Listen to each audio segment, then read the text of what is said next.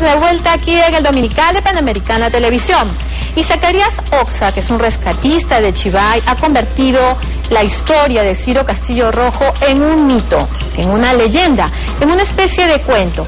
Ha escrito una narración que se llama El misterioso romance de Ciro, un cuento que se, eh, que se ha agrupado dentro de otros más que se titulan Tradiciones del Colca. Vamos a ver esta nota que nos ha preparado Lourdes Castillo.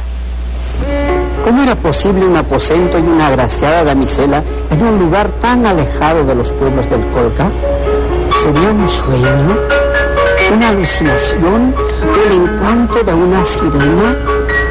Al día siguiente, como si nada hubiese ocurrido, reanudaron el viaje, pues tenían que atravesar la sagrada montaña del Bomboya de este a oeste para unir Madrigal con Tapay.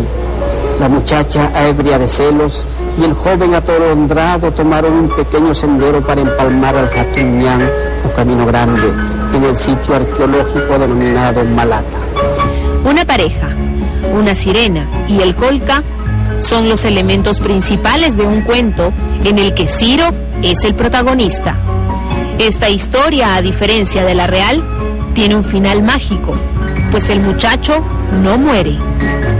¿Quién es la persona más indicada para contar la trama de estos dos muchachos quienes van en busca de aventura y placer al colca que el propio autor de esta narración fantástica, el guía de montaña, Zacarías Oxa, originario de Chivay, el mismo que participó en la búsqueda de Rosario Ponce y Ciro Castillo Rojo. Tras disfrutar del roque de Chicha durante la fiesta jubilar de Yanque, en el centro arqueológico de Uyuuyu, Ciro y Rosario se trasladaron en bus local por las polvorientas carreteras del Colca hasta el minero pueblo del Madrigal. Al día siguiente, junto a los últimos rayos del sol otoñal, acompañados con el viento del atardecer, tomados de la mano se alejaron del pueblo en pos de aventura y placer. Según el cuento El misterioso romance de Ciro, el estudiante retorna al lado de Rosario y le confiesa que había pasado la noche con una mujer hermosa. Siempre, según el relato, sorprendida por la infidelidad, más aún con una ninfa, la joven explota en ira y en un arranque de celos empuja a Ciro. Por fin llegó el nuevo día. Ella descendió por una agreste ladera y él por una rocosa quebrada imaginaria. Ambos bajaron abriéndose camino al azar. Muy cerca del camino en construcción, situado a media montaña, la joven divisó a un puma agazapado tras una taruca, ansioso de devorarla. Mientras que el puma consumaba su deseo, la lánguida muchacha se camufló entre pinaguas y chonas. Recuperada del susto, prosiguió camino hacia la choza ubicada sobre una garganta de roca granulosa, allá en la guada. Junto con los últimos rayos del sol, llegó exhausta al refugio deseado y rompió el llanto incesante, arrepentida de lo que había dejado a su apasionado Ciro. En el cuento de Zacarías Oxa, Ciro decide quedarse en el nevado Bomboya, al lado de la sirena de soltera Pacha. Este es el primero de una relación de 30 cuentos oriundos del Colca, en los que se descubren una a una las leyendas sobre los enigmáticos secretos que esconden las montañas. Ejemplar cuyo prólogo fue desarrollado nada menos que por el doctor Ciro Castillo Rojo.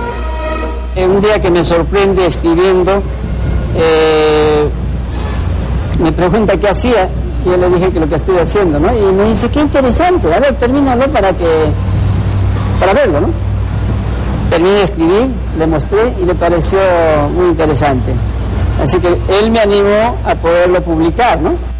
Zacarías nos contó durante la entrevista que mientras buscaban a Ciro oyó ruidos extraños.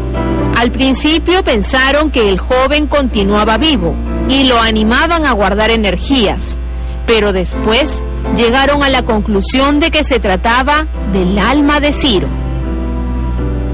Había mucha gente que apoyaba a través de sus llamadas, que decían que eran medium, eran chamanes, eh, rosacruces, etc., quienes decían que Ciro estaría con vida y que estaba herido y que lo estaban curando y tanto. Y entonces como para calmarlo, pues llamé, Ciro, guarda tus energías que mañana bajamos a rescatarte. El montañista y escritor ha sido amenazado por teléfono, según dice, por ser uno de los testigos claves. Además, Tiene su hipótesis sobre lo que ocurrió con Ciro y Rosario en el Colca. Recibí una llamada anónima que me pareció una broma, lo tomo así, una broma de mal gusto, que me dijo con nombre propio, ¿no? Que no abra la boca, simplemente, y me colgó.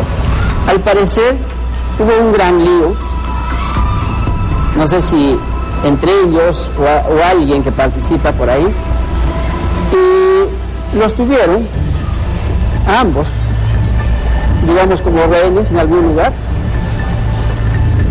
y al querer deshacerse del muchacho, lo van a llevar hasta este punto, seguramente caminando, bajo amenaza. Y probablemente le hayan quitado el calzado o para que no se defienda o para que no se escape, ¿no? Sobre las posibles críticas que podría recibir por hacer un cuento respecto a esta historia, que sin lugar a dudas ha sido una novela interminable, seguida a diario por todo el país, manifestó no tener malas intenciones. Lo suyo es la ficción. Es ridículo, porque en primer lugar, no fue mi intención, ya les dije, sino es que me anima el doctor. Yo apunto a, a vender, a difundir no el cuento de Ciro, sino todos los cuentos que tengo aquí, este gabinete de cuentos que me los contaron mis abuelos. Y algunas son de mi propia vivencia, de mis caminatas en mi, en mi tierra, en el Colca. ¿Cómo era posible un aposento y una agraciada damisela en un lugar tan alejado de los pueblos del Colca? ¿Sería un sueño? ¿Una alucinación? ¿El encanto de una sirena?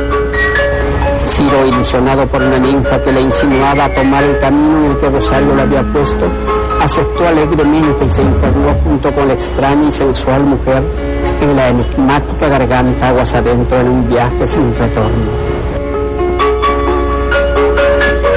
En el libro del rescatista Oxa todo es ficción, ¿no? Y ha sido contado con aprobación del doctor Ciro Castillo.